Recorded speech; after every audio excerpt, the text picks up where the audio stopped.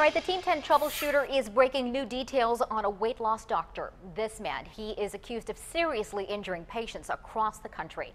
More than a dozen of those patients came to Team 10 for help after seeing that doctor. Troubleshooter Kristen Severance met three of them hours after they spent thousands of dollars traveling to Mexico, taking the first step to stop Dr. Mario Almanza. I love you guys. These three women didn't know each other a month ago. Holding hands in a San Diego hotel lobby, they now say they're bonded for life. I don't know if I could have made it without you girls this time. They connected after Team 10's investigations into Dr. Mario Almanza. They all chose to get weight loss surgery by the doctor in Tijuana, Mexico. I thought I was gonna go live life a healthier, newer me. Jessica Ballenby had the surgery in March 2014. I mean, hours after I had surgery, I had complications. I started bleeding out through my stomach immediately. All of a sudden, I felt something wet, and I looked down, and my whole entire stomach was completely saturated in blood. This is Jessica before surgery. She's had to miss months of work, can't afford her medical bills, and she can't keep weight on. It's been so hard. Not feeling good and then being sick on top of it, and then it's messed me up mentally so much, it's not even funny. I posted my concerns. Diana Thomas had her surgery in 2014. She was so sick, she said her doctors told her to say goodbye to her children. It's really difficult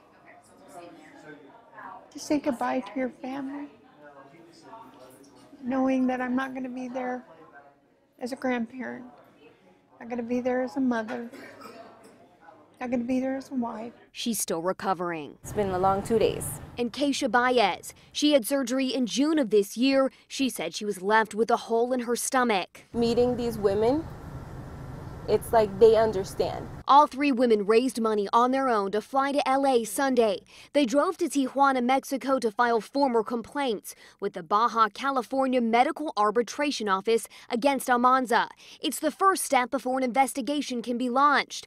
The complaints can't be done online. They must be done in person. To go back into the town where you had the surgery is just bringing it all back, and it's terrifying. After they filed, they drove to San Diego to sit down with me. If we can stop him from doing this to others, then, you know, that's all that matters in life. If we can save another life, then it was well worth it. They say they made the trip for the people who can't do the same. Almanza's booking agency boasts that he has done several thousand successful surgeries. Team 10 confirmed through their families or death certificates that four former patients died a few weeks to a month after surgery by the weight loss doctor. Annette Coronado Garcia's family said she died a month after surgery. The 37 year old had no pre existing conditions and was not morbidly obese. I talked to her mother and 21 year old daughter from their Crystal City, Texas home. Annette also leaves behind a four year old daughter and an 11 year old son. It hurts because of my brother and my sister. It hurts. It hurts to know that they won't have my mom. What I've gone through, it could have been me. I could have not been here. I could have left behind my family. And I just feel like it was the right thing to do. I'm Team 10 troubleshooter Kristen Severance.